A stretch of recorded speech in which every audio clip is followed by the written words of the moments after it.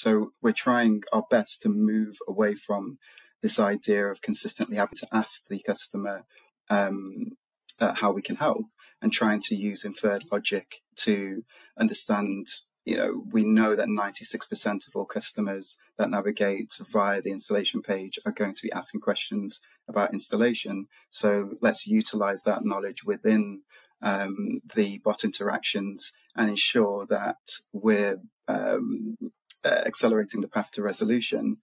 by identifying very early on okay we know that this is your your intent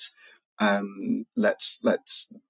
a, a step to the next um, the next point in the journey without having to um, uh, without having to clarify in, in any un- unnecessary way because we have the the data to to help us um, move and progress the conversation um,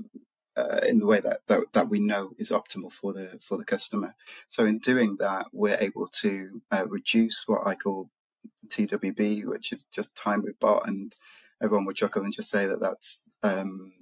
segment average handling time. I, I, understand, but let me have my fun.